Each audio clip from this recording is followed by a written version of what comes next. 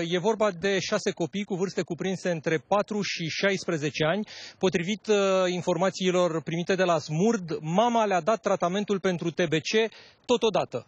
Primiseră de la doctori uh, tratament pentru mai multe zile, însă nu s-a priceput, mama n-a știut și pur și simplu le-a dat toate uh, pastilele odată copiilor.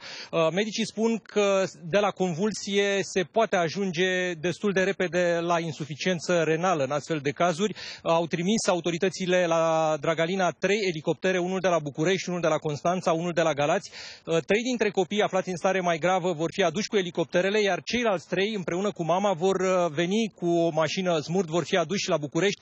Toți vor ajunge la Spitalul Grigore Alexandrescu. De altfel, cred că primul uh, elicopter a și aterizat pe stadionul Dinamo. De acolo copilul adus va fi preluat de o ambulanță și dus la Spitalul Grigore Alexandrescu. Și poliția a intrat pe fir. Uh, se pare că părinții vor fi chemați la audieri, uh, vor să vadă anchetatorii cum de s-a întâmplat lucrul ăsta, cum de părinții le-au dat copiilor tot uh, tratamentul odată, fără să-și dea seama că le pot face foarte mult rău.